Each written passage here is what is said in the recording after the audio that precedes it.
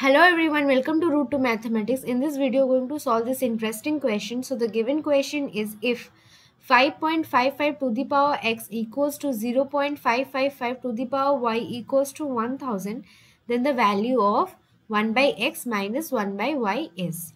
Okay, so before going through the solution, please do subscribe my channel and click the bell icon for further notifications. So without any delay, let's start the solution. So the given equation is 5.55 to the power x is equals to 0.555 to the power y equals to 1000. Let's take it as equation 1. So in the next step from equation 1 we can write 5.55 to the power x equals to 1000. This implies this we can write this 5.55 as 10 multiplied with 0.555 whole to the power x equals to and 1000 as 10 cube. Now in the next step taking log base 10 both the side we have log base 10 of 10 multiplied with 0.555 to the power x is equals to log base 10 10 to the power 3.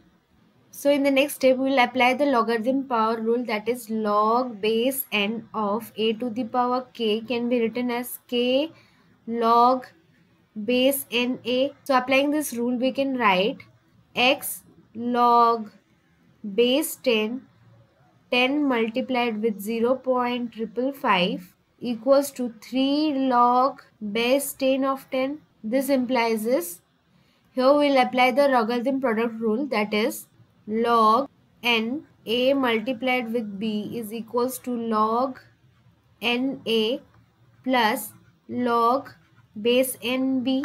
Okay, so by applying this rule we can write x log base 10 of 10 plus log base 10 of 0 0.55 equals to 3 log base 10 of 10 and we know that log base n of n is equals to 1 so applying this rule this two term becomes 1 so we have x multiplied with 1 plus log base 10 of 0 0.555 equals to 3 which implies this 1 plus log base 10 of 0 0.555 equals to 3 by x.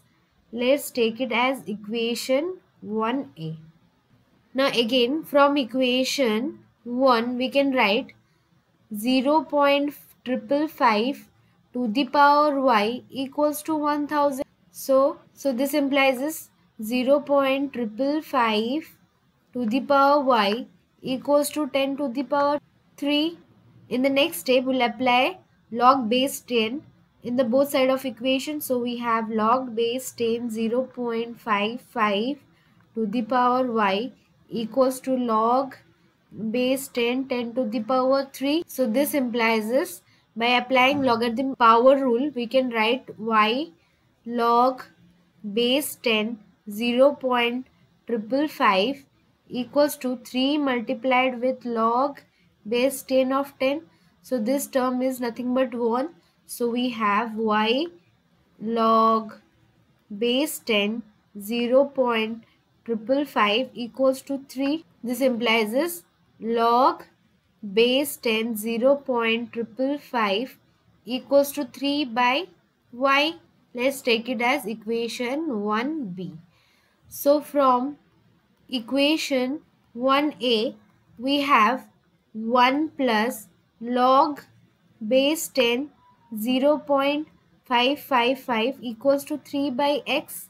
Okay, now from equation 1b, we can write log base 10 0 0.55 equals to 3 by y. So let's just substitute the value here. So we have 1 plus 3 by y equals to 3 by x.